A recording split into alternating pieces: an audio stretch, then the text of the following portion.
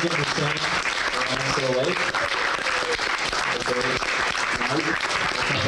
be singing. Thank you very much, Pearl, for being so